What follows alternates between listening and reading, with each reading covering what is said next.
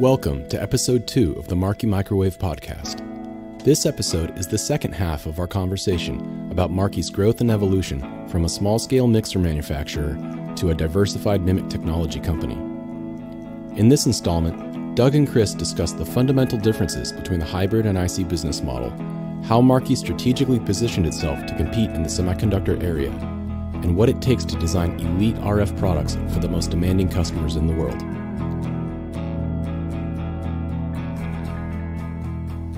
So at the end of the last episode, uh, we were talking about the diode supply and how that drove um, changes from the traditional hybrid, you know, the 50-year-old hybrid mixer model to the MMIC, uh, mic, the MMIC device model that we're using today.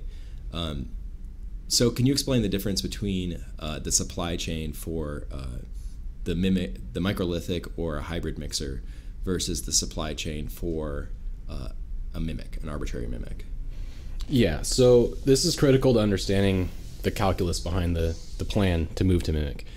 Um, because we had so many issues with hybrid supply chain, uh, specifically with the diodes, um, but it went beyond that. Basically, everything on the bill of materials that we needed to buy to make a hybrid mixer was at various times of our history at danger or in danger. The MMIC supply chain is a lot different because it's essentially just one company, a foundry, who builds the product, and then you take those die and you package them yourself, or you give you, know, you sell them directly to the customer as bare die, or you put them into some kind of surface mount package like a QFN. So fundamentally, the supply chain of MMIC is 90% die or foundry, and then maybe 10% other, but with a hybrid mixer, Services, it's yeah. yeah. And then there's, and there's the services associated with it, which is much more, I would say, diverse, and you have more options. So you're not as sole sourced. Well, you're you're very sole sourced with the, the foundry. Yeah. Uh, you cannot just easily port foundries, as you know, Hittite discovered Right. uh, prior to the sale to analog. But uh, the the main difference is that there are more weight there are more suppliers needed to buy the materials to make a hybrid mixer than for a MMIC. and you're sensitive to all of those suppliers. And every single one of them matters, and you're constantly playing whack a mole with Yeah. which which item on the bill of materials is causing the performance degradation you're seeing, or is it your own fault because your assemble you know your your your assembler skill is a part of the quality, Right. whereas in a MMIC, it's pretty much did the foundry build it properly. Well, and the foundry uh, only has to do it once. This Right. is this is a, an operations change that was really huge for the company, which is that when you build a, a hybrid mixer or even a, uh microlithic mixer, you build them hundred at a time. Whereas when you build a MMIC mixer, you build them as as many as you can uh, at a time, at least one wafer's worth. Um, and typically, you build more than a wafer, so you really only have to get it one. You only have to get it right during that short window of time when the parts are being fabricated, and then you just have them indefinitely. Yeah. Once you have the blueprints, you can make as many as you want, Right. and you can scale really at the push of a button, which is how many wafers do I buy. Yeah. So uh, they're, they're pretty dramatic uh, differences in terms of um, the operations side of the company that I want to talk about in a little bit. But from a design standpoint, is there a dramatic difference in the way that you, like, uh, imagine that you have a requirement or an idea for a coupler versus an idea for a, a MMIC mixer or some other MMIC product. Is there a big difference in the design process between those two types of products? That's okay. Well, you you were asking that because you know it's loaded. The, the answer, I mean, we could have we could have a four hour discussion on this because it's like I, I suppose a passion of ours. Um, okay. The the simple answer is, well, it depends on the engineer. Is really the answer. If you're my dad, you design by instinct and empirical prototyping, and that was the the ethos of let's say his era, where you didn't have as good of access to simulation tools. Like there were some, but maybe they took forever to solve. Um, so the answer to how you design a coupler versus an IC or something like that comes down to the engineer. If you're my dad, you design by intuition and empirical evidence. Uh, you build prototypes, you you play with the prototypes in the in the bench, and you you hack and burn until you get what you like, and then you try to recreate that. And that is literally how almost all the components came to be in his era, uh, from you know filters to mixers to couplers. Everybody had their own kind of hacks, and, and they, were, they were physical hacks, not not software hacks. Yeah. And um, so you could get away with that for a long time. My dad got away with that his entire career. He's never used a computer to design anything.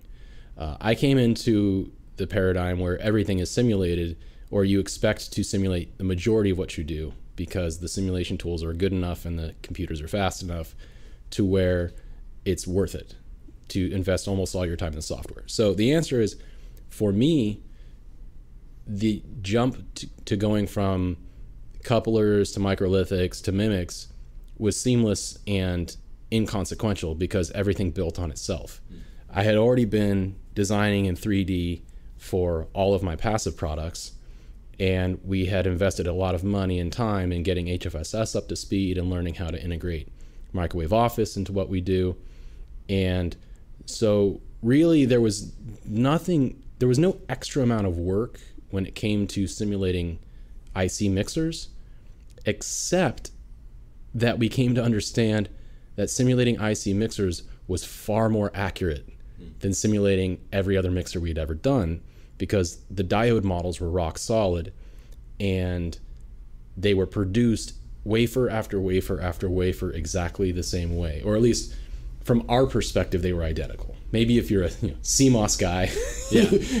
you're just like oh wow this process Yeah. wanders but to a Parts gallium million. ars yeah we're talking about parts per thousand maybe Yeah. um, so we we do not experience the the problem Yeah. at all uh, and what this meant was that we started to think a lot more about investing more and more time in simulation all the way down to the junction of the device. Yeah, and this is something that I'm not sure if this is.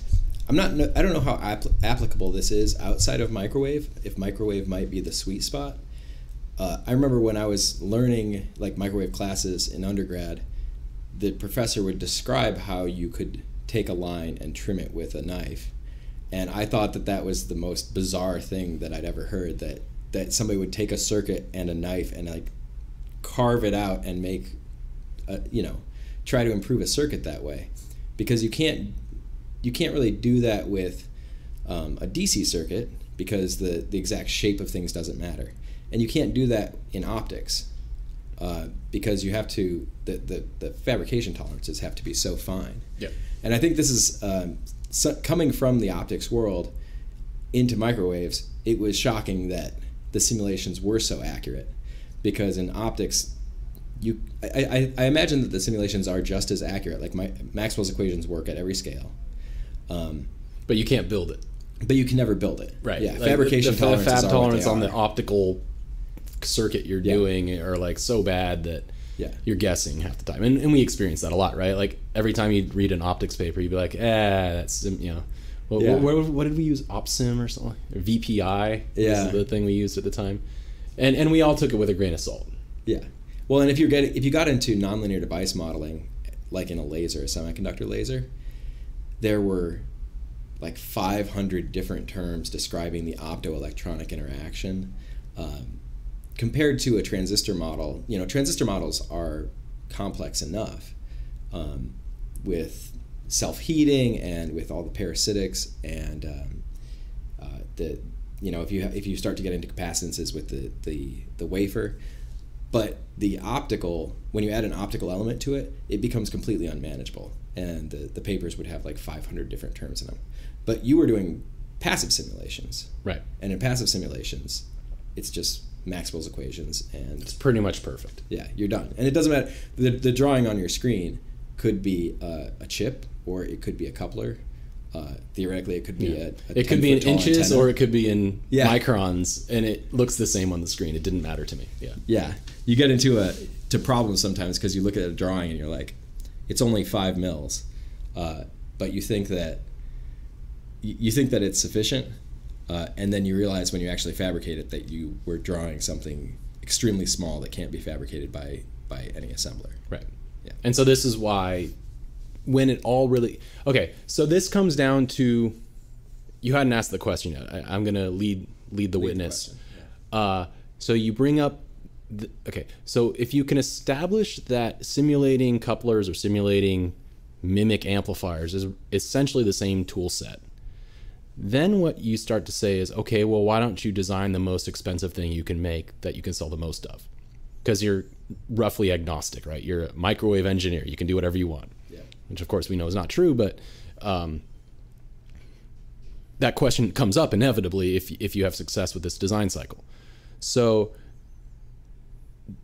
if we all have access to the same foundries because they're hmm well, not always actually. Okay, so we can talk about that as a separate yeah, problem. Supply chain. But which you know, you, if if you're locked into a particular foundry, you have to choose the, your prom date carefully. And um, what separates you from some other smart engineer who also owns CST or HFSS or ADS, whatever the simulation tool du jour is? What separates the men from the boys, or you know, the elite all stars from the bench players in the RF design space? And in my view, the answer is the ability to complete the design cycle accurately and measure what you simulate. So, how do you do that? Uh, it's an iterative process of careful attention to detail with the ability to understand the packaging aspects of it. So, and we come across this a lot when we interview students. Is that a, a, and, and I think we'll devote a lot of time on this podcast to talking directly to students about the fact that they're never going to design anything. Yeah, unless unless they learn like far beyond what they learned in undergrad. And um, so the design process or uh, say the product development like process ends far after like a year after the final simulation is done so the the first 10% of the work is the simulation in my in my view. If you're really rolling out a good product. I mean after you've reviewed the literature and well yeah okay you know, I'm, I'm assuming okay i'm yeah. assuming and once you are a world expert on the topic well, you start yeah. your design yeah you yeah. can't become a designer until you're a world expert at something right. in my opinion this is the other thing that i think students totally don't understand is it'll take you four years of reading papers to finally maybe come up with one slightly original idea, unless you're a genius. Like, unless you're at the highest level of an engineer in their early 20s, you're not going to have an original idea. And even people in their 30s don't really have original ideas. They usually just come up with the same similar concept to something that was done in 1965. So cute. right. It's, it's, it's so novel, right? Uh, and of course, then they patent it and yeah. waste everybody's time uh, and pay lawyers. But get a bonus. Yeah. Uh, but the point I'm making is that what separates the best designers, and I use that the general term designer, is they understand what the tools can do, what the limitations of those tools are, and then they understand when they build the piece of hardware, because we're in the hardware business, right? right? We're not in the software business. So you have to build the thing and verify that your simulation worked we got very, very good at that in the first, let's say, five to seven years I was here. What? So you, you say that uh, it's very important to get confirmation between the the simulation that you do and the measurement. What are the pitfalls that uh, an engineer coming out of undergrad would typically fall into um, when doing a design that would make it not um, match up with the their expected result? Okay, so there are many. Okay, so there are a couple areas that I like to grill students on when we interview them. Uh, the first one is just talking about the simple idea that basic circuit elements don't act like basic circuit elements at microwave frequencies. So that's just the basic fundamental physics of our field, which is that once the wavelength becomes comparable to the part or the, the circuitry that it's that the energy is flowing through, weird things tend to happen, like capacitors stop acting like pure capacitors, and inductors start looking like weirdly capacitive, and It's uh, in in some tools. So some simulations will exhibit this, and some will not. It depends on the approach you're taking. And so you have to understand the weaknesses of the simulator to really be gifted or uh, highly effective using them. And that takes many, many years. So you can't come out of school and just know, like, oh, a spiral inductor is not really an inductor after a certain frequency. Okay, okay, fine. Oh, and the Q got terrible. Okay, and uh, the, it's physically too large, and now all kinds of weird coupling issues are happening, and my thing no longer looks like a low pass filter anymore. Right. So um, that's one. Uh, the other thing, and this is something that that we learned over time. If you if you take enough care to simulate, especially in 3D, because 3D is is kind of like the truth telling serum. If you simulate something in 3D and it still looks good, and then you don't measure it like that, it's almost always the measurement's fault. And this is something that we learned through time. And I can't tell you how many engineers have come up to me and you and handed us measurements where we knew they measured it wrong right. because it didn't match the simulation. Yeah. And they're adamant that they measured it correctly. and then you say, uh, yeah, there's a second harmonic leaking through because it's the synthesizer's not as clean as you think it is, buddy. Yeah. Or there's a packaging problem, or the connector is loose. It's always the connector. Like that's Yeah. I Blame the connector. blame the connector. Blame the ground. Ground is mother. Yeah, the ground is not the, the ground isn't soldered properly. Properly. Yep. And I think uh, it's it's weird being in like I'm going back to the idea that this 3D simulations and specifically uh, you know the finite element method simulations, the uh, HFSS simulations that we use are rare in almost all of engineering because they are it's like God's own truth bestowed on you from the heavens. There's I, I don't I can't think of another arena because every other any other simulation you do is an abstraction and certainly 3D simulations are an abstraction. Um, but if you're talking about like two and a half D method of moments or uh, especially like a circuit schematic or if you go up another level to uh, the system simulators like Genesys, each time you each time you get more removed from a component from the component, you add a level of abstraction that obscures some kind of uh, non-ideality. You've made an approximation. Yeah, you're I- making I, an I think that's the be- the best way to put it is like you know if if you come from an applied physics background like we do, yeah, every class you take in grad school, the professor at some point says, okay, these are our assumptions. Mm-hmm. And they'll write up a series of parameters, and then it'll be like, this one's much, much greater than that one. So we cancel that denominator. Yeah. Or like, you know, it's, it's everything becomes like some mathematical like uh, flow down to a very simple equation. But we know that in reality, all these other complicated things are happening. It's just that the variables were orders of magnitude larger or smaller than others. In in HFSS, you never have to do that yeah, it basically calculates everything for you. yeah, yeah. If you're careful. But you know, we don't take certain things into account. We we we pretty much ignore almost always anisotro- anisotropy in the substrate. And you apparently informed me last week that that is not always true. Like Rogers told you that.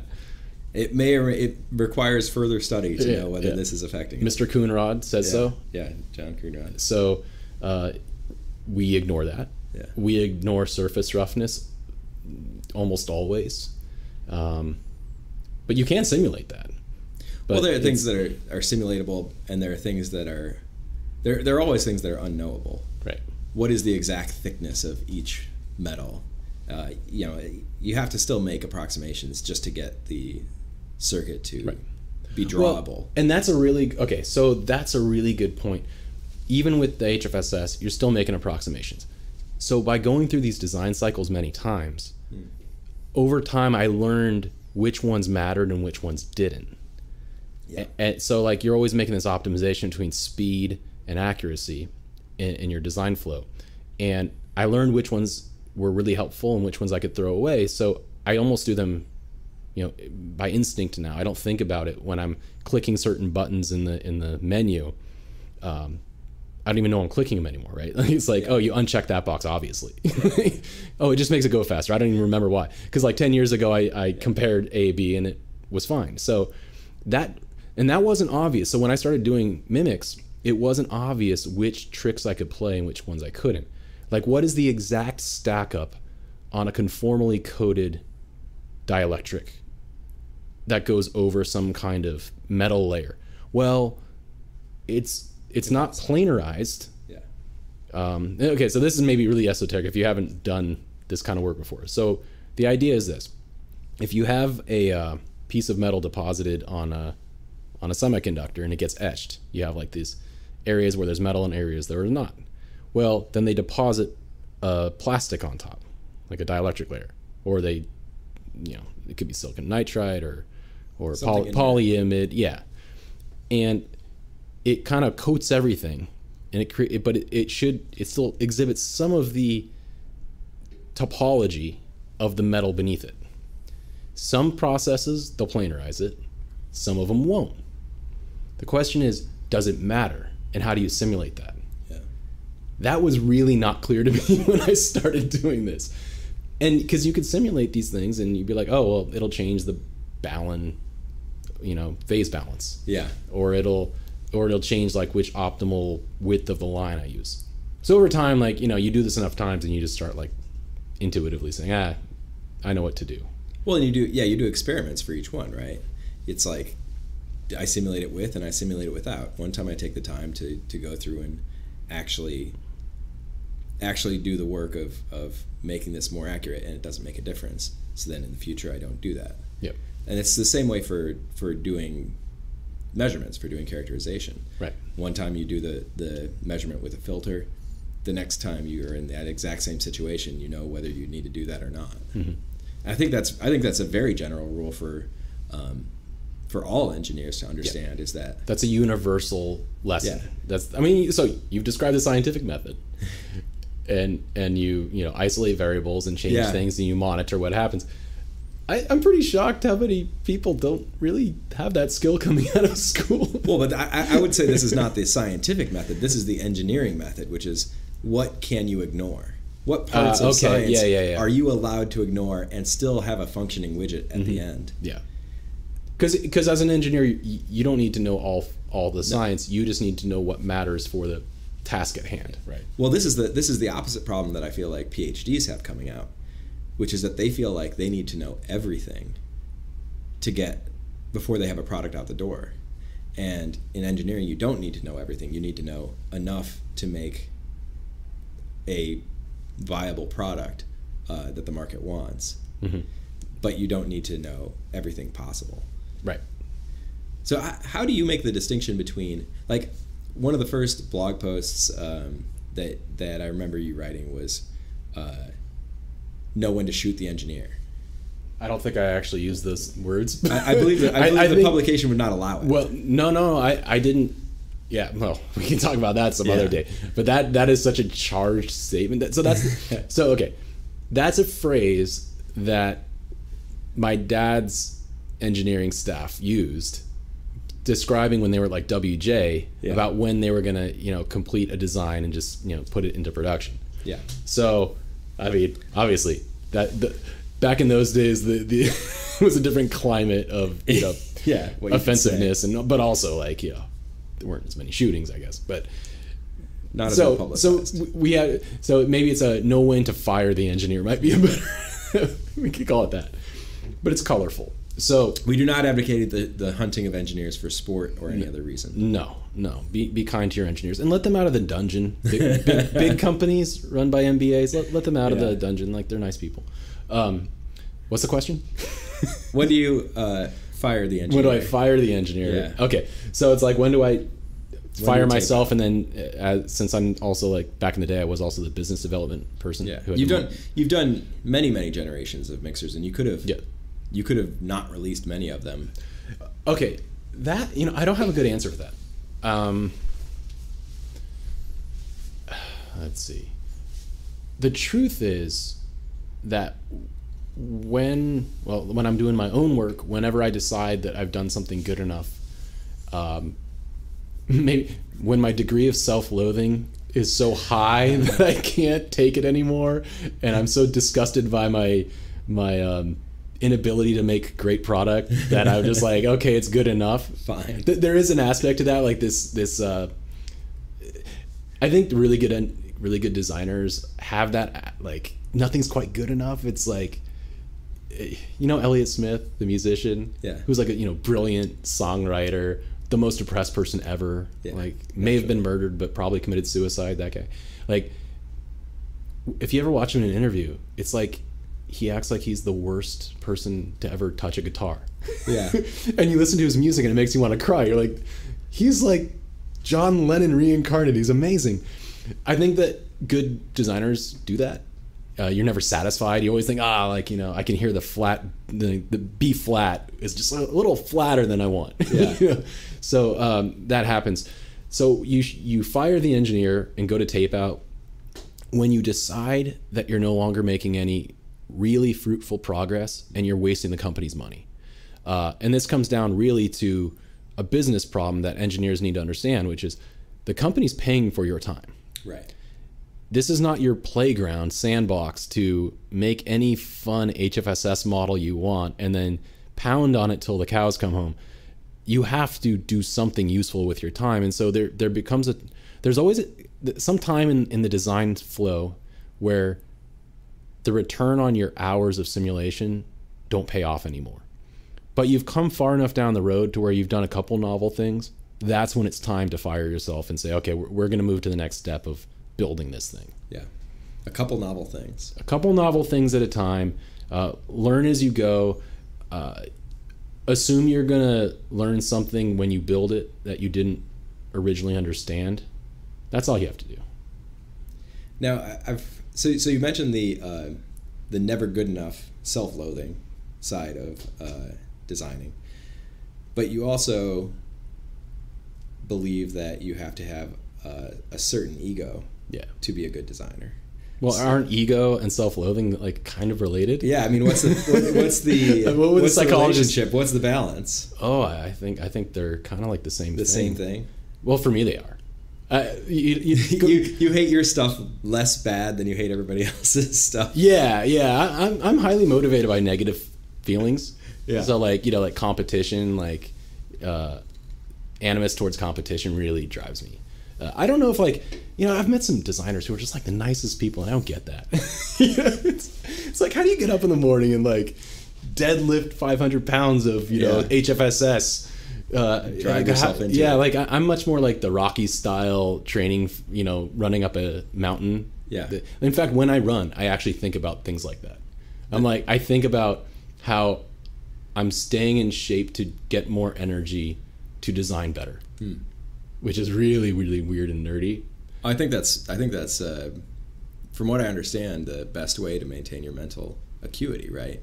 Improve cardiovascular, Yeah. You know, I, blood I- flow. certainly, I feel better like when I do it. But okay, so um, what's is there a relationship between ego but also like the fear of failure? I think there has to be because Hmm. you wouldn't be doing it. You wouldn't be trying to become a great designer if you didn't feel like you could win at it. Or n- win might not be the right word, but be, become successful, compensated, um, gain some level of of respect from your peers, um, get a lot of personal satisfaction out of achieving something. I mean, it's, it's like achieving anything in life. If you want to become a great piano player, you're going to sacrifice, but you wouldn't sacrifice if you didn't think there was a payoff Right. um, everybody's payoff of why they do it's probably a lot a little bit different um, but part of getting better is fully appreciating how bad you are like and this is uh, get we, we i think we circle back to like talking to like interviewees a lot but it's always like meeting an interview who has no idea how bad they are is always the the, wor- the worst candidate It's just like god you just don't know all the things you don't know yet Yeah. and so it's like ego ego without self-loathing is a dangerous thing It's very very bad. very dangerous. Well, I think that for MMIC design in particular, um, you know, you talk about winning and the motivations that that drive you behind it, and I think that that's um, well for a lot of for a lot of microwave people, they do what they do because they love the work, and that's why I think why you see so many, especially founders in of microwave companies, that are still around way after they have earned their retirement and could be off on a beach somewhere. Mm-hmm. And they're still coming into work every day because that's what they want to do and that's what, what makes them feel good. But to the, the MMIC uh, economy, you know, we, we talk about how we're a hardware company, but in a lot of ways, MMICs are a lot like software in that you have to do the design once and then you can replicate your work an Well, arbitrary number of times. If, so if you're a MMIC designer, your output is like a GDS file, yeah. One which GDS is software. Yeah. So you Yeah. are you are a producer Plans. of a software product. Yeah. It's just it turns out that software product can become hardware actualized at a foundry, but you don't need the engineer for that. Right. And and that means that when I say fire the the engineer, that's actually literally what happens to some people. And how yeah, many if it's a consultant, how many design, how many MMIC designers have we met who used to work at you know some major place yeah. and it's like why would you have ever left oh they probably didn't need you anymore because they already had your amp Yeah. They, you were they totally completed expendable their line of VCOs yeah. and yeah it was time to see the door. that's right And I think that this is this is very. There's a big difference between a, a MMIC design and, like you could say, if you're a designer of any product, once you have the design, you're done, right? But if you designed a car, they would keep you around until, for as long as the car was in production, because there are inevitably going to be problems. There's going to be tires that you can't source, and they're going to need to consult with somebody on which tire they can get as a replacement. But when you've got MMICs, you can print 20,000 at a time or 50,000 at a time. The problems are that the, the processes are so much more dialed down at uh, foundries that it's it's it becomes more than a, a difference of degree. It becomes a difference in kind where you really don't need the designer anymore. And so when you're talking about winning at MMIC design, you really do need to win. You can't make uh, the second best, the third best design Mm-hmm. because there's no reason. You know, it doesn't cost any more to make the best design than the second best design. So there is no reason to for a customer to choose the second best design. Uh, so one design, it's it's like why would you use the second best search engine? It's free. It costs the same Right, amount. yeah. That's why Google has so much money. Why would you use the second best MMIC when the se- the first MMIC, the best MMIC, uh, costs the same amount? right So it's a very much a winner take well all. and that and so co- that you make a you use the word cost i think you meant price it's the same price but the cost Yeah. is the same right. So it costs Marki the exact same amount of money to develop a MMIC mixer as it does, you know, competitor X. Well, that's not entirely true because I can do it a lot faster because I have libraries and libraries of designs. But when I was starting from zero, I was actually at a deficit in terms of how much it cost me in my time. But when it comes to the actual direct cost of the material, Right. we're in the exact same boat. So then it's all about performance. Because if we're all going to have the same cost structure, then then you have to sell on some other metric than cost. And so that's going to be mostly the performance, but then, you know, over time, uh, especially here, we're going to be doing a lot more value added uh, capabilities like software support, um, uh, integration, reliability. These these other things are are obviously valuable to the customer, and so so we, we focus on them heavily. But because we have no cost advantage, it pushes us into those other categories to differentiate. Right.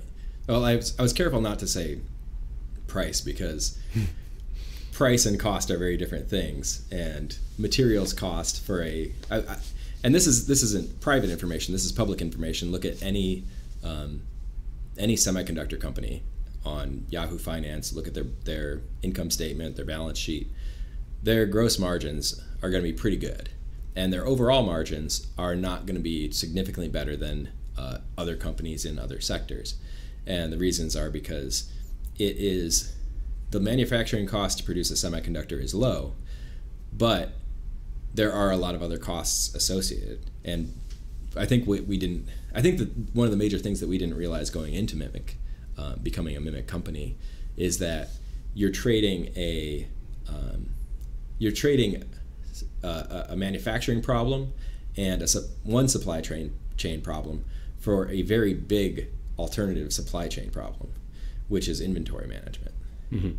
And trying to figure out, you know, when you can order 40,000 of something at, that you don't have never sold and you have to buy potentially several years of several years worth of inventory of a product that you have no idea whether there's a market for or not. Um, that's a very tricky thing to do. You're making much bigger bets. Yes. It's just fundamentally when when you Yeah. go into a cost model where all of your development costs are up front and there's really no redos or do-overs. Well, there are redo-overs. There there are spinning new masks. Yeah. But you're going to Expensive the, the board of directors may, you know, cut your whole Yeah. division if you do that too many times. So you have to be really careful. And this this came back, you know, this comes back to the whole question of why did why didn't I do MMIC sooner? In hindsight, I wish I had, but there's no way I could have justified the, the bet.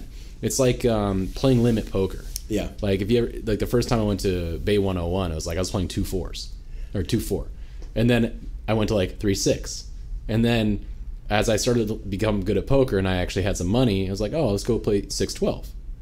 Like that's exactly the same way that I took Yeah. took you know the the MMIC flow. Uh, care, careful wagering of money to make sure that I could still you know have gas gas money to make it home I, that's what I did with that's what I did with stocks. I started off, you know, with the cheapest stock. buying. Well, I was, I, I was buying like five hundred dollars in stock in grad school. You know, I'd get a hunch and I'd buy like, uh, or I'd get uh, something that I thought was some kind of tip on a stock, and I kept like doubling my money on thousand dollar stocks or whatever, or buying a thousand dollars worth of stock, uh, until uh, I finally was like, all right, now I'm going to make some big bets, and and now I'm just going to invest in the S and P 500 for the for the remaining yeah, well, for the remainder of my career. I mean, I, I definitely learned that I was uh, not going to be a stock guy when when I bought I think 20 shares of Google when it was like IPO, Yeah, and I think I made like 30% profit in like a couple months, you're like, wow. and I sold it. I was like, I'm gonna book this. I'm gonna buy myself something nice. yeah, it was like all the money I had too. Yeah, yeah. Not smarter than Wall I, Street. I think I made like $300. I was like, this is awesome. Yeah. Um, so, what are the other differences between the being a MMIC uh, process company and um, being a more traditional microwave company? Uh, I don't know. What do you think the differences are? I don't think there are that many. I think it's It- pretty dramatic. Okay, so okay, let's go down the list. How about that? Let, us go down the list of what, what's what's the difference between being a fabless IC business versus a what hybrid component house? Is it Yeah, we could say a, a, a, Okay. a hybrid switch, you know, Okay. manufacturer. so? Okay, um, software tools identical. yeah, Measurement equipment mostly identical. measurement equipment, yeah, completely identical. Okay, which is like one of the biggest uh, barriers to entry to becoming a microwave company is Well- the measurement equipment. getting back to why couldn't we do why couldn't people do MMICs before during the last episode we talked about why didn't um, you know why were mixers not more advanced in the 90s uh, i was arguing that the software tools were not as good Yeah. i also think that the measurement equipment measurements were much much lo- more laborious particularly Yes. on nonlinear Oh, yeah. devices Yeah. Yeah. yeah. it, even at the beginning of my career, Yeah. 10 years ago.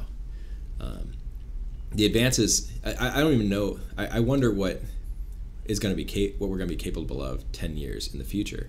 Because you can already almost completely characterize the nonlinear uh, metrics of a mixer. Um, if you are careful about setting up the template, you can measure them immediately. If you're willing to spend, you know, $500,000 on a test setup from a major test equipment manufacturer. But basically the same. Okay. Yeah. the, the same between a hybrid hybrid company and a MMIC company. Well, I think it would be faster to say what are the differences. Uh, you cannot. Supply chain is a huge difference. How, how you structure your supply chain has got to be different. yeah. Like supply chain is obviously like the, the very biggest thing. You have to do much more planning, um, much more careful assessment of.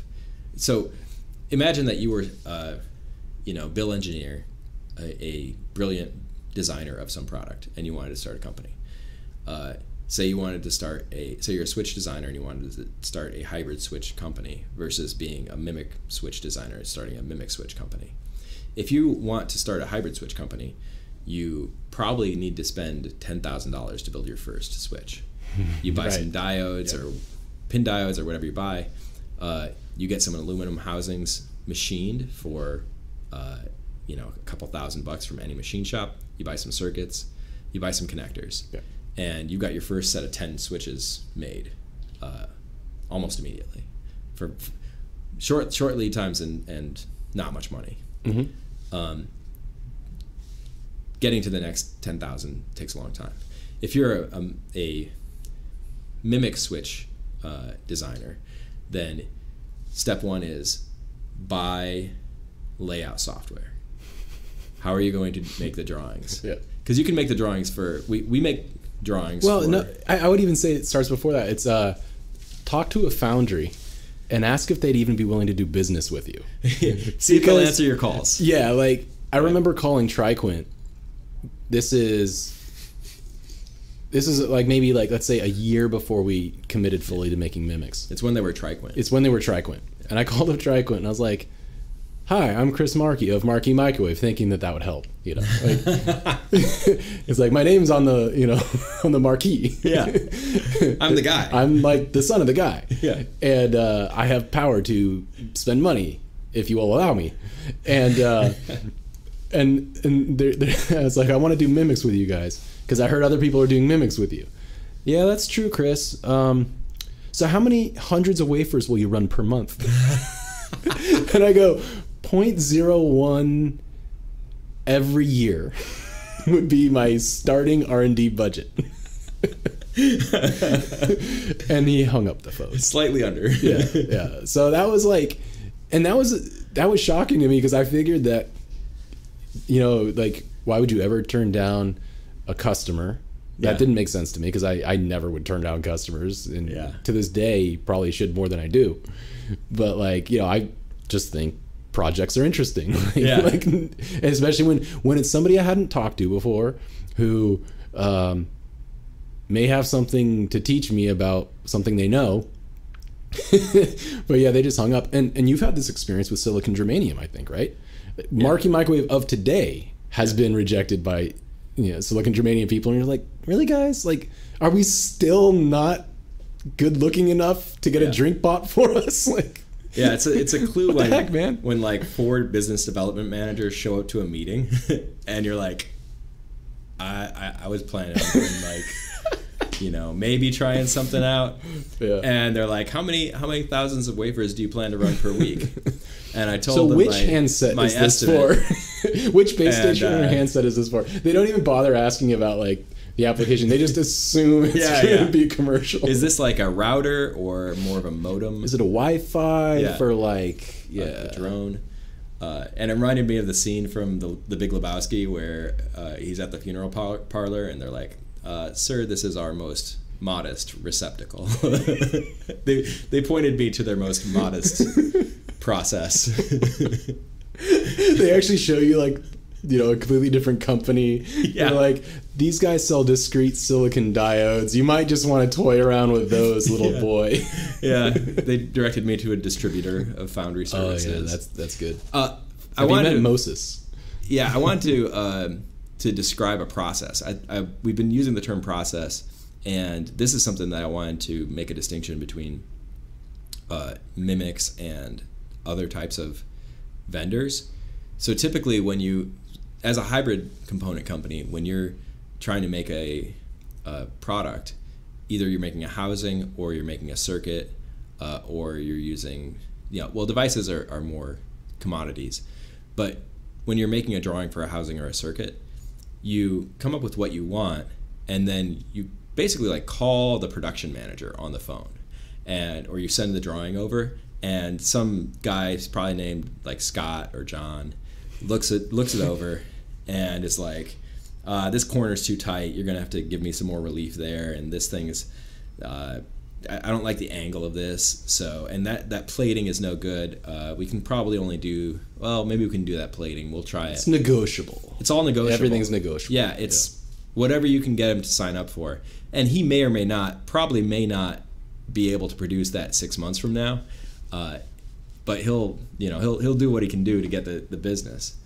Uh, and that's part of the reason that you run into so many problems is because getting hard and fast rules about what they'll supply uh, from most vendors is difficult because they don't necessarily know. When you go to a semiconductor foundry, a pure play foundry, they know exactly what they will sign up for, and they have it in a document called their their design rule document, their their uh, process guide, and it's per process. So they have a process that has a device on it.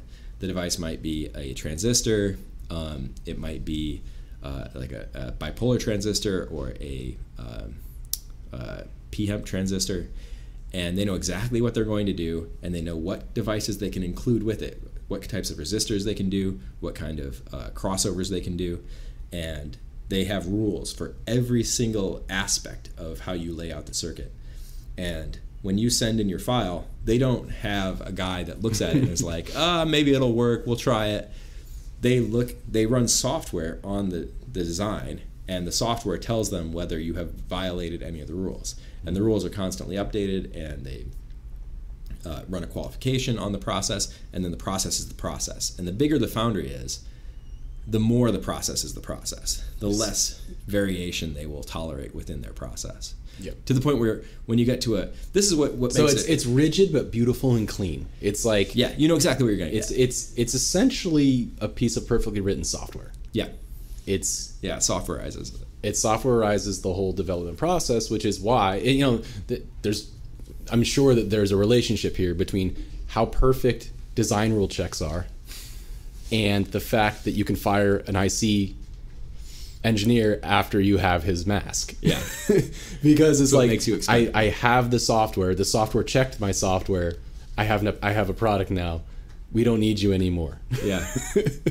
well, that, that I think that's almost. I think what you've described is uh, the paradigm of the modern economy, which is anything that can be converted into an algorithm can be made by a computer and fire the guy that does it. That's right. So th- there's an interesting um, there's an interest. I can't. Re- there's there's a paradox. I can't remember what it.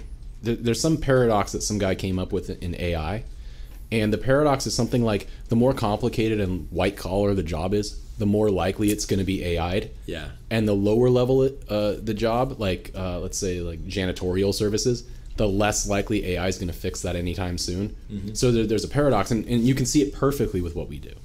Like I think, Absolutely. Like right now, I'm writing scripting to design filters, and I'm trying to fire myself out of the entire algorithm because it's like I do the same thing over and over again manually. I don't need to do this manually. Yeah. And and the best the best designers, especially the best IC designers, I think, understand this, and they write their own scripting toolboxes, and they, they have a toolkit, and they and they roll around with this toolkit, and they they whip out these these specialized jackhammers to hammer out designs very quickly Yeah. that are at the highest level. So that's another another problem for an undergrad angling for a design job is that Yeah. your toolkit is empty. Yeah. All you have is what your professor gave you in undergrad, which was probably ADS, because ADS or, or AWR, you know, they're free for students. Um, they're actually, it, you know, in addition to home scripting, which, uh, you know, everybody's got their own home scripts. Uh, there are professional companies, which are typically one dude, one software person, or one like uh, microwave person that's written some scripts. And when you work on a computer program for an entire career, you can make an incredibly good computer program to solve um, to solve closed-ended problems like impedance matching um, or filter design or you know that first part if if you learned how to design a filter in ADS as an undergrad you have learned to do what software already knows how to do extremely well. Mm-hmm. It's like when they teach you how to do a Fourier transform. Like no, nobody pays you to do a Fourier transform because we've got software to do that now. Nobody will get a job designing filters the way they do in ADS in school. Yeah, yeah, if you want to be a pro. If you want to do bush league stuff, you can do it. But if you want to make your money as a professional filter designer, there are people out there who've already done everything. the Simpsons already did it. so, uh, yeah. So because foundries are basically perfect, as as perfect as you can really hope to get. I think with The- hardware, yeah, they, they'll do what they sign up to do. they do what they sign up to do, uh, and and the hybrid, the the hybrid component supply chain is not like that. Yeah. Uh, so that that is a major paradigm difference, um, and I think what it's done is is, is it spoiled us in the real the realization of working with foundries versus working with, let's say, some PCB vendors. Yeah. I don't want them to get mad at me, but like, you know, it can be a nightmare. I, I think every PCB vendor is who You're you're throw describing them all with. So any anybody listening that is a PCB vendor, Uh, I, I I cannot name a PCB vendor that we have had a seamless relationship with. No, it's true. Even the good ones that we love, Yeah. there are always fights and breakups, and then Yeah. you then you realize that every other PCB vendor has their own flaws, and you go back to the one that that brought you. Yeah, yeah, and there's only so many, so you you, you don't have like you can't just you know burn the bridge. You have to stay diplomatic. Yeah. Now, but this is so. This is a uh, something that I worry about. That is a risk that we are exposed to as a MMIC company. That is not a risk uh, for a or the the risk is that everybody has the access to the same processes. The processes are advertised. There are only a handful of foundries. Um, And it's not in the foundries. who they are. It's not in the foundries' interest to not make it widely accessible. Yeah. They won't make you a, Yeah. a special pro. No. They might make you a special pro. Some of them might make you a special process, but they won't. You know how much? How many millions of dollars would you have to pay them to keep? How many process? hundreds of wafers, Doug, are you going to be running Yeah. per month? then they'll consider it. Hello, is this Apple? Yeah, yeah, yeah. Oh, who mic- microwave? Yeah. Can you spell that? So, some Apple engineers will be listening to this and be like, "Oh, those little chumps." yeah. yeah. Taiwan Semi is listening to everything we ask. I, I remember when I was an intern at uh, at Intel, and uh, they had Semicon. You know, so everybody was like, "Oh, you got to go up to Semicon West. You just show the blue badge, man. You can get on anywhere." I was like, "Where where do I want to go Yeah. up there?" yeah, yeah. we we pay, we pay for our drinks, don't we? yeah, yeah.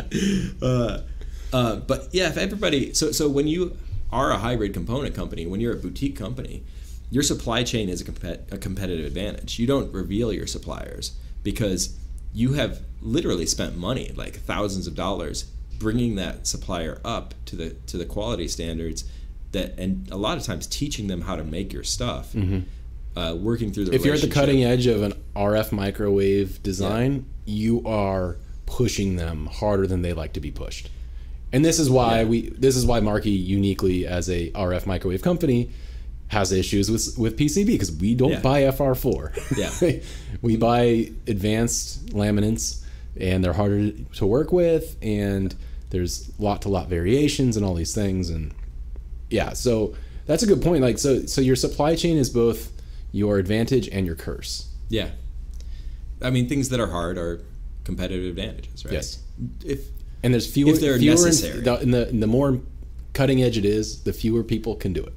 yeah, yeah, you're always. If they say that the the tolerance is two, then you're going to go to two. You're not going to go to three or four. You're going to go right up to what you can do because there's some limiting factor on every design, Right. uh, and a lot of times it's the, you know, the coupling, the the fabrication tolerance on the circuit, um, the coupling between two things. Oh, okay. So I want to I want to mention that. So you you just you said you know if, if the limit if the if the limitation's two, let's say let's say gap spacing is two mil, whatever it might be. Uh, my advice to any young engineer listening to this, if if the vendor says they can do a two mil gap comfortably, make it three. yeah, because the, the thing that when I was like a young designer talking to these vendors and you know thinking that everybody would tell me the truth and they aren't. Yeah. they're they're trying to win the business. And you know I'm not talking to the the process expert in the factory. I'm talking to the salesperson Yeah. so know who you're talking to the salesperson says they can do too they give the drawing to the process guy and he's like Bob what the hell are you doing man come on, just do it this one time. yeah do it the one time I got a customer. so so you get that first time, and it actually is two, Yeah, and you're like, oh, this is sweet. Let's let's make this a product. And then the next time it's like, no, it's not two anymore. Yeah. That happened with microlithic. I think you know that story. I think it's happened on a number of It hasn't happened. I don't. Has it ever happened with MMIC for us? Well, Not really. Not for MMICs, but for other uh, circuit. It's happened on thin film and it's happened on laminate. Technologies. Where Yeah, laminate. where we got essentially like told that price went up because yields got bad because we followed their design rules. Well, that's what happens is they don't, they can't not do it. They just double the price Yes. because the yield is half of what they expected. because the dude the dude in the the the factory manager couldn't go home until midnight one night and he got really angry with the sales team. Yeah. So we've been talking a lot about um, MMICs uh, and the transition to a MMIC uh, company, the transition to MMIC processes. Is Marki a MMIC only company? Is is Marki another Fabless IC company, or if not, how does how do MMICs fit into the larger uh, the larger frame of Marki Microwave? Yeah, this is something that we, I think, actually talk about a lot internally. You know, what's our value compared to competitors? What what do we do differently or or specially that other people can't do or would take them a long time or a lot of money to to compete on? And um, so the way I look at it is this: a lot of people know how to do hybrid components.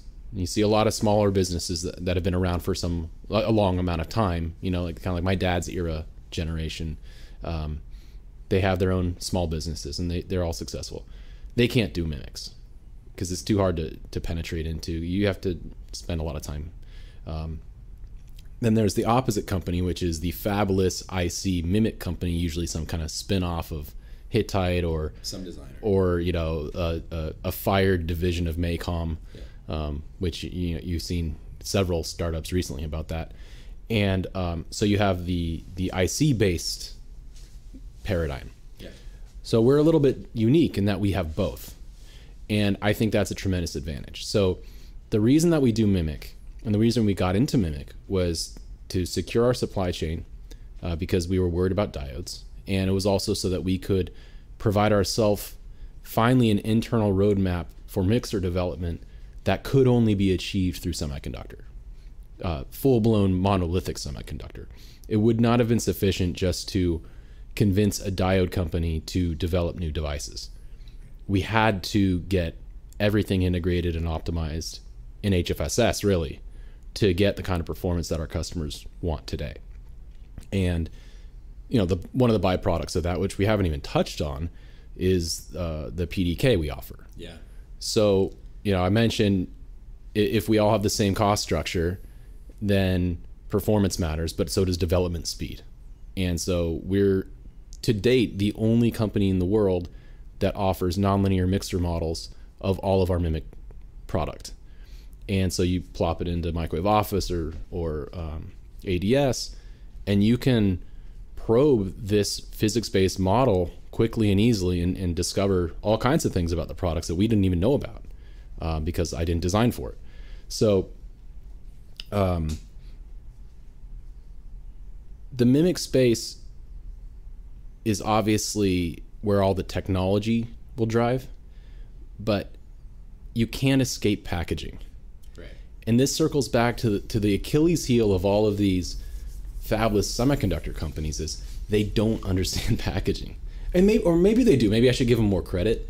But let's be honest, if you don't have a factory of 50 to 100 operators working with so- uh, solder reflow ovens and working with pick and place machines and doing hand assembled product and working with all the different types of solder you can buy, uh, you just don't have the skill set you need to support customers on their most challenging problems. And these days, those problems have to do with uh, essentially swap reduction, right? So size, weight, power, and and cost um, sometimes. But we're talking to customers who are who are miniaturizing their their receivers by a factor of what four to ten. You know, things that used to be on a credit card can now be on a quarter Yeah. Postage stamp. a postage stamp. And so, um, just being good at an IC design will not get you there. Like just having those GDS files that you send to a, a, a foundry to build you those wafers does not do you any good, because you still have to provide it to the customer in a way that they can use, which almost always is surface mount, right? But there's other things you can do. Um, so what I look at is I say, okay, we have the factory that can do the packaging. We have the personnel, which we have the team that can do that. We have the ability to do our own internal reliability studies. And now we have the IC that has been developed over the past five years. When you marry those two, there's only how many companies would you say possess both those capabilities in house in our industry? I think there are two. Us and ADI? I, I don't. I think ADI outsources their packaging. They do some of it in house, I'm sure. They, they have. I, I'm sure that they have some capability. I don't think that they have the, um, the extent of capability that we've got. And who else? MACOM? I think Mini-Circuits can do. Oh, Mini-Circuits. a lot of packaging. Well, okay, so I would say MACOM, mini circuits, ADI. Maybe ADI because they. Well, okay, ADI doesn't. I don't think sell anything that touches that's handmade. Is that? We'll have to ask one somebody from. No, I, I think that's that's correct. MACOM sells things that are handmade, but I think that there's yeah, they still sell mix. They sell hybrid mixers to they this day. they do, uh, but I, I I think that there's there's such an they're almost a holding company in in a lot of ways. Like Well, as of this morning, I'm not quite sure what they are either. I think there's I, I think if you're an IC person, We'll at- see when this airs. By the way, like, so Yeah. we should we should mark the date. We're recording Yeah, this on uh, uh, June 19th. Yeah, and that date for a means that this MACOM. morning was the announcement for a 20 percent layoff. By the time this reaches the airwaves, we don't know what Mr. Daly will do. Well, we don't know what state the economy is going to be in because there have been Yeah, Huawei. there have been shockwaves from Huawei. Oh yeah, and especially in the electronic components industry because it was specifically a ban of electronic components mm-hmm. by against the largest consumer of electronic components in, in the world um, so I, I think that there's a lot of reverberations that are going to be echoing for, for many years I think that, I think someday we'll be like oh that was right after the Huawei ban So so Doug, um, how much money have we lost from this Huawei ban?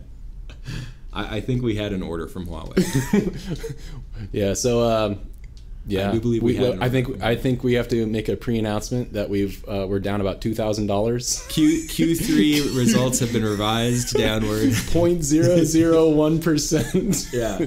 Yeah, so Marki is completely unaffected by this, so it's a really Yeah. interesting uh, position to be in. Um, It's a, it's a, it's an interesting idea because it's a position of strength in a field of weakness, which is, you know, a promising place to be. yeah, well, I I think it's actually a bad thing. I, I would prefer this from a competitiveness point of view to not happen, because I think what it's gonna this the sharks will circle to now possibly go after some of our market. Yeah, the, they the- will. The thing that we like to work with may be appealing now to the people who got banned from Huawei. Oh, I don't. I think it's going to shake out weak players because, I mean, business is cyclical, and it's been a long time since we've had a downturn. It's been a long time since we've had, had a down cycle, and so even weak companies have been carried for the last ten years. Yeah. Uh, I think in the next four years, I, I, I of our competitors, I think that many of them will close their doors, um, especially the newer ones, and If there's Others- a downturn. other divisions will be removed. I, I, I think there's, it, at least in our industry, I think it's, I can't imagine. I'm going to, I'm going to claim June 19th, ni- 2019. I'm going to stake my, my claim. Is this the high- Jorgensen top? the high water mark. yes, this is the Jorgensen top, and I, I'm going to short. Uh, the, Oh, no. I'm going to short our industry for the next. I mean, ADI's multiple is pretty ridiculous. I, mean, I know this because I own ADI, and I can't believe they're multiple. But at the same time, it's like they're a monopoly on so many things. I was just looking at Cree. If you think GAN is good, then you think Cree is great. Yeah. and Cree has not made money in four years. Really? I was shocked to see because I thought for sure they would be. All right. You're. If, if, did you read those statements properly? Because you're gonna get some hate mail from like the CFO. I I, th- I think that Cree when from the outside, Cree looks like a great company to me. Yeah. Like they just look, they they just look like they are pretty put together. And maybe I just don't know enough about Cree. Maybe they're a mess inside. well, okay, but but well there's there's managed. there's Cree, which is also like the lighting and all that, and then there's Wolfspeed, which is like the RF side, right? yeah. I think the Wolfspeed side makes money. they have revenue, but you I, they Right, don't I- disaggregate the costs. You- so you- that's they have they have like a billion and a, they're a six billion dollar company market cap with a billion and a half in revenue, and cost of revenue of like one point two billion dollars. So and then when you add uh, R and D uh, and SG and A, it's they're losing money, which I, I was confounded by. Mm, I don't know. Yeah. So, Jorgensen market top is now, and I think that there will be a struggle in the future. But the struggle's already taken out all of our um, weak um, hybrid component companies, competitors. Yeah. So that'll be a field of strength. What I think is interesting about um, the MMIC, the MMIC side of the company, um, whatever we are, four years into the, the process, four years, to five years down the road, is how much I've started to see MMIC as another tool in the toolbox, along with, um, you know, if a customer comes with a problem, I think, can we do it with a MMIC? No, there's, for whatever, you know, they, you can't do that with a MMIC because you have to mix processes or because you have to, um, so you, could, you could do it with two MMICs, but then you have to wire, you have to bond them together somehow into a multi-chip module. Or you can't do it with a MMIC at all because they need a power divider that goes down to one gigahertz. So you have to do that with uh, some kind of other circuit. Or you can do it in a MMIC. Like it's it's another way to solve the problem, which is in some ways I think a, a specialty of ours, which is collecting the best possible ways to solve each problem Mm-hmm. and having all of them at our disposal. Yeah. We're technology agnostic. Agnostic. In that, with, with with the upper limit being the cost of a particular development. Like Yeah. I would love to work on 45 nanometer SOI, but I'm not going to be spending a million dollars on masks. And, and and they won't answer my call anyway. yeah, so- yeah. I, I look at silicon uh, and I, I see chains, man. I Oh, yeah, see like that's true. Uh, For our business model, it's completely uncompatible. yeah, it looks like a lot of work for what professors argue. I, I mean, they. This is a, this to me. This is an interesting uh, like role between academia and and commerce, in that professors have spent like the last ten years developing the the technology so that silicon can make what it used to take used to require gallium arsenide. So SiGe and and uh, silicon. You look at the um, you look at a company like Analog Devices, and they're pretty much just promoting SiGe chips. They've, uh, to my, as far as I can tell, they have left three fives uh, behind them, or at least in the tail of their their silicon development. Uh, and this has been developed by like the, the core IP has been created by a bunch of professors everywhere, uh, which who have been working feverishly on this for for many years. Um, and so in a way, it's weird that they've been, you know, the government's sort of been subsidizing the um, decline of the three five industry when it comes to these mass commercial products. But at the same time, the benefits, you know, there should be tremendous benefits to the consumer because the silicon is so great. And I don't know, we'll see. Well, th- there's benefits to the consumer above a certain threshold of volume. And and this is this is the thing that like one day we should talk about the economics of the MMIC or IC space. Yeah. And maybe like it would be good if we could bring in somebody who was like a silicon expert Yeah. who really understood the costs because we don't really know like what the cost is to do silicon germanium versus Yeah. SOI or whatever. We just know it's a lot. It's like an order of magnitude more than what we do today. Right. And so you just do some really simple economic, you know, sunk cost versus, you know, future earning Yeah. revenue. And you look how many months or years out you would expect to make a profit and or how many widgets do you have to sell to make a profit Yeah. What's and, what's your point? ASP or average sale price of, of those particular widgets and it's like that's where I always get depressed and walk away from any silicon idea because it just doesn't make sense for the small to medium volume customers. Yeah. So on, on that point of what is the crossover point where you start to make money, I think that that's another big strength as a MMIC company having packaging. Every time I've looked at the array of so every MMIC, almost every MMIC we offer in as a bare die, as a surface mount and as a connectorized module. And I've considered the question of whether we should continue to do this. It's a lot of work to make a separate set of drawings, a lot of times a separate data sheet, um, have a separate inventory. A lot of our competitors will only offer a, a chip in a single package, surface mount or bare die, and rarely as a module, sometimes as an eval board. So why go through the effort? And what you see is there are a lot of there's still a lot of connectorized module projects out there. There are still a lot of companies like they're not not companies but projects even at big companies where they're making a small test system and they need 40, uh, 40 test systems. Is it worth making a surface mount board or a connectorized, uh, uh, well, connectorized system do? And so between hundreds of small projects, um, you can sell a lot of modules, and that lowers the crossover threshold for a new MMIC design significantly because of the the higher revenue from the modules.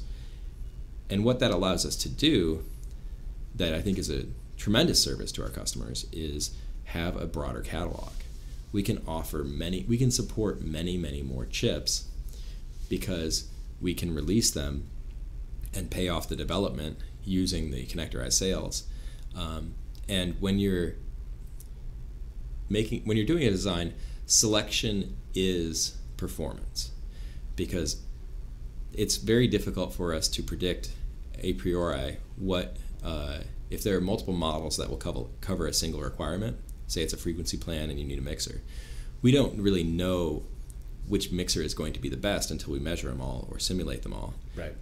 we have to you know my favorite parts that i think are amazing sometimes suck Yeah. for a given you know under a given circumstances sometimes they get beat in ways that you wouldn't expect it's very difficult to make a part that's uniformly better across every spec um, and so having that that broad catalog and continuing to support the broad catalog um, you know is a big benefit of having all the pack- packaging technology that we've got There's something else that, you, and you said it. It's like so if you can offset the development costs through module sales, which captures it, you know, a really different customer set. It- It's like researchers, lab people.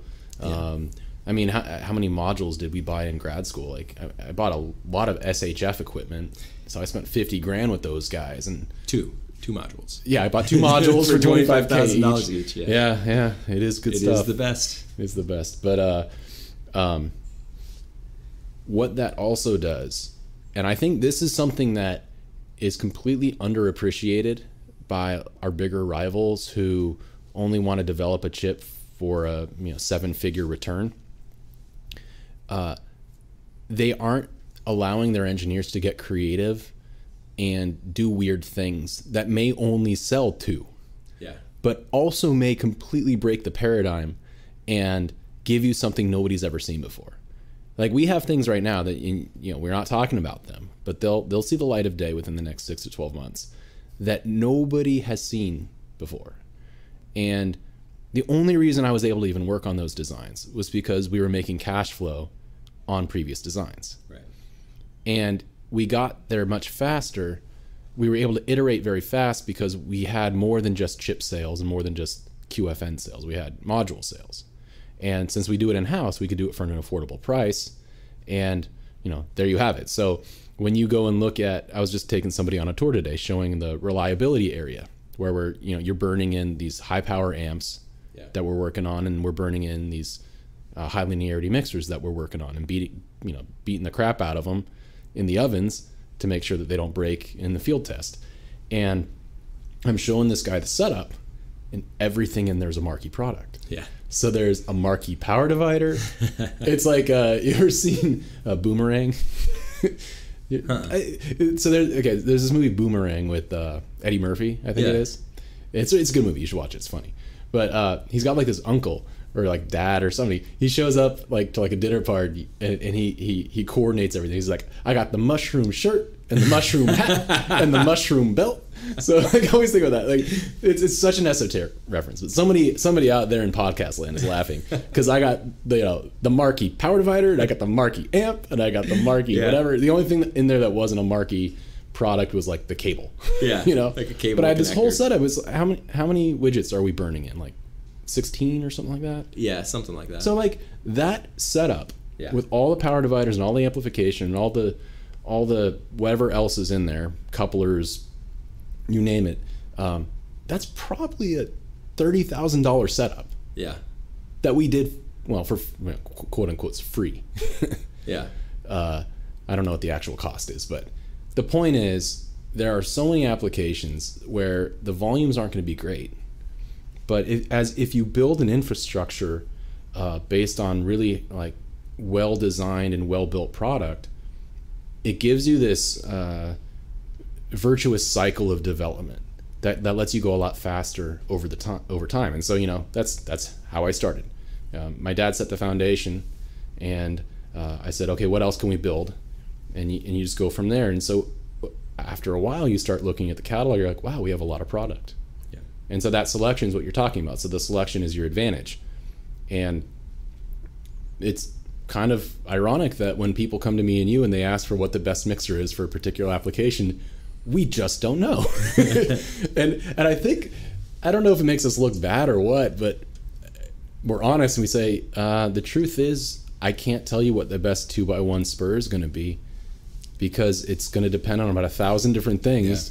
So you have two options. You can send us the frequency plan, and we'll measure every mixer we can find for you. yeah, that fits. And that's that was my dad's way, and we still do that to this day, right? Uh, that's a near continuous job Yeah. at Marki Microwave. First thing you learn as a Yeah. engineer. and and and inevitably they're going to screw up the two by one up, and then uh, or we tell the customer just go download the PDK and do it yourself because it'll be faster.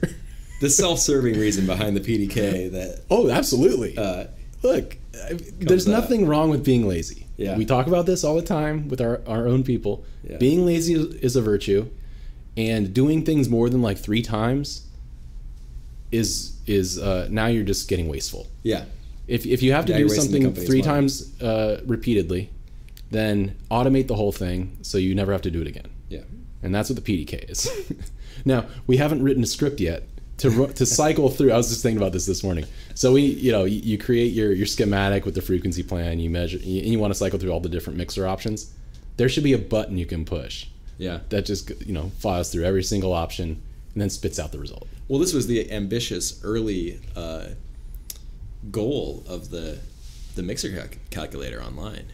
We had Yeah. we had the PDK around the same time, and the initial idea. If I think if you look at the the mixer calculator, it has a drop down box that says what what model, what spur model do you want to use? Right. And the only one in there is Bert Henderson's. Yeah. And it's a sort of patched version of that. But the original intent was to have uh, a software backend where you could use, you could link up to the PDK and pull estimates of the spurs from. Oh my god! I just thought of the best idea. All right, so the ma- y- y- you guys are listening to the magic as it happens. so here's So- the idea, Doug. So somebody goes into your spur calculator. They they drop the frequency plan, and then they hit go or whatever. And it, you know, does the spur web or whatever GUI that they're using at the, at that moment. And then there's a button at the bottom that says export this frequency plan to Microwave Office or ADS. It'll spit out because it'll it, you can transfer all of those data sets Yeah. to a macro or a script, which can then import that and drop the entire mixer like measurement setup. Yeah. And then you can hit go to cycle through every single mixer that we have. Would it, would it export uh, like an ADS file or an MWO file? Like a dot? No, all you would need to know, Schematic. really, all you're doing is you would be passing the fields of you know uh, RF min, RF max, LO min, LO Yeah. max, and IF out, Oh yeah, and you've got it pre-made. and you and so Template. all as long as you Yeah. can populate those fields into a script, that script can then create the microwave office file, Yeah. which then you would hit another script to say, find me the best Marki mixer in the PDK for this particular spur. That would be really that for an experienced scripter. That's like a day of work. Chris, Marki, Yeah. script kitty. Yeah. uh yes. I, I'm again. I'm lazy. I don't want to have to do this. Like it's a, it's And it's awesome. Like when you get it done, it's awesome. It, feels good when it's done, and it's boring Yeah. as hell when you're doing it. Yeah.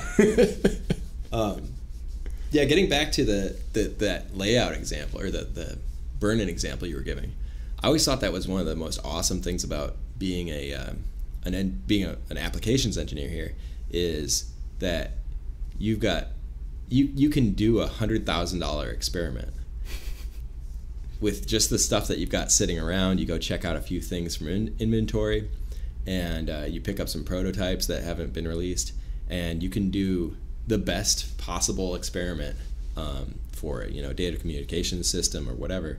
Um, you can make make these giant elaborate experiments and you suck up all the you know adapters in the lab and everybody gets kind of mad at you over that. Um, but you can do that because as a component company the broader I, I, don't think anybody else has an applications lab that has quite that capability because well, Mini-Circuits under, but i don't think that they have their inventory under the same roof as their applications. Maybe they do. Maybe every, everybody's in brooklyn but i think that they're a little more more i think as the more capabilities you have the bigger a company you are the bigger a company you are the less access you have to each you know area in the company. Um, but that that well, and they don't have a Marki power divider. Let's be honest. they don't have the best power divider. I didn't design their stuff, so I don't. I can't vouch for it. Not made here. Not made yeah. here.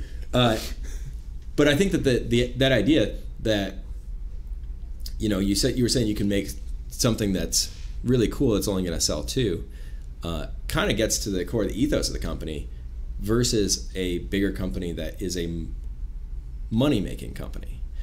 Mm. Like, yeah, we're not really a money. I mean, we're a money making company, and it's fun to make money. Um, but we're not public. We're not designed to maximize shareholder value. There's no, you know, there's no legal obligation to maximize shareholder value, mm. uh, and so we can do things that are fun and cool and make awesome products without having a, a, lot of stress over the fact that it didn't, you know, you're not going to get fired for having a, a, a, product that didn't sell as well as you thought it would. Yeah.